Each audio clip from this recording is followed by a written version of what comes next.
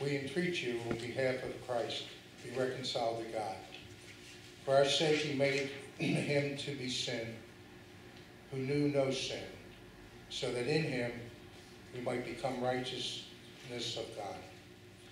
As we work together with him, we urge you also not to accept the grace of God in vain.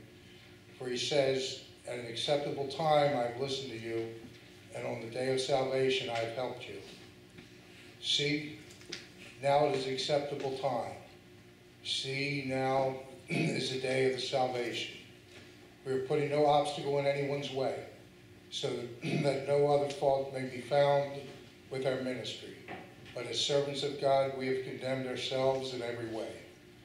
Through great endurance in afflictions, hardships, calamities, beatings, imprisonments, riots, labors, sleepless nights, hunger, by purity, knowledge, patience, kindness, holiness of spirit, genuine love, truthful speech, and the power of God, with the weapon, weapons of righteousness for the right hand and for the left, in honor and dishonor, in ill repute and good repute.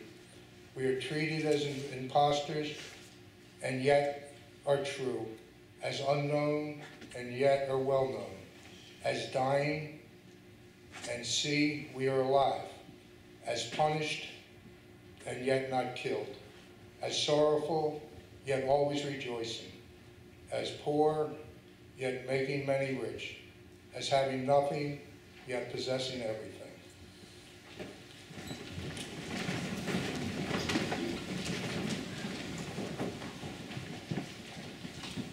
Jesus said, Beware of practicing your piety before others in order to be seen by them, for then you have no reward from your Father in heaven.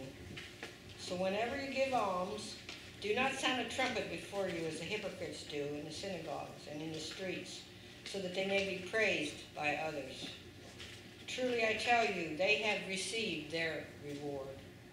But when you give alms, do not let your left hand know what your right hand is doing, so that your alms may be done in secret, and your Father who sees in secret will reward you.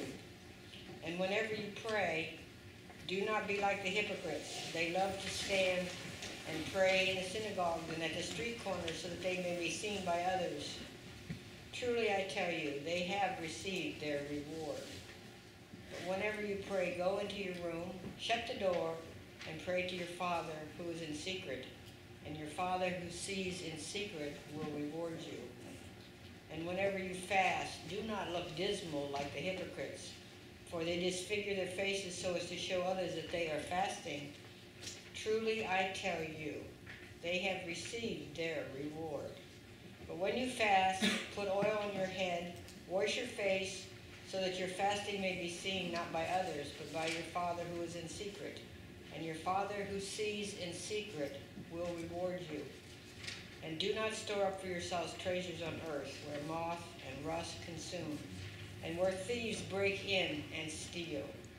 But store up for yourselves treasures in heaven, where neither moth nor rust consumes, and where thieves do not break in and steal. For where your treasure is, there your heart will be also.